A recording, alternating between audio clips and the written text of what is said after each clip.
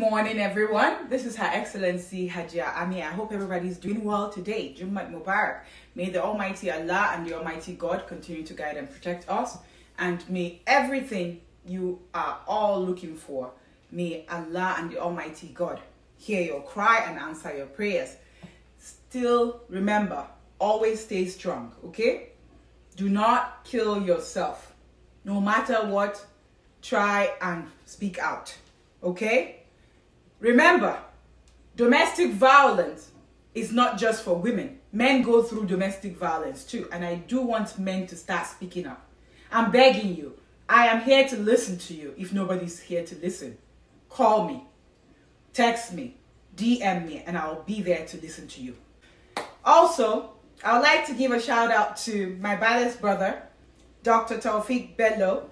Thank you, Jazakallahu Khaira, for reminding me about domestic violence this morning. Everyone needs to speak up, okay? We are here to listen.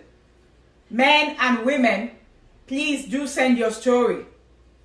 Whatever you bring to our table is what we have to address. If you're not bringing anything, there's no way we'd know about what's going on. So whatever I'm addressing is whatever comes to my table. And I need other people. So kindly join my team, our team, at Sharing Life Issues with Her Excellency Hajia Amina to spread that awareness. We all are busy. We all have work to do. However, think about giving back to your community. It's not everything that is money.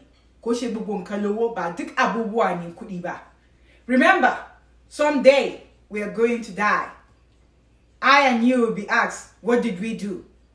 Always remember that. I know we have to work hard to get all this money, but at the end of the day, we'll go down. Remember that. And please, be kind, be nice, give back to the society, not just taking, give me, give me, give me, give me, give me. Think about that. Eronu, kuitunani, nagodi, jazakallahu khaira, dalu, eshongan.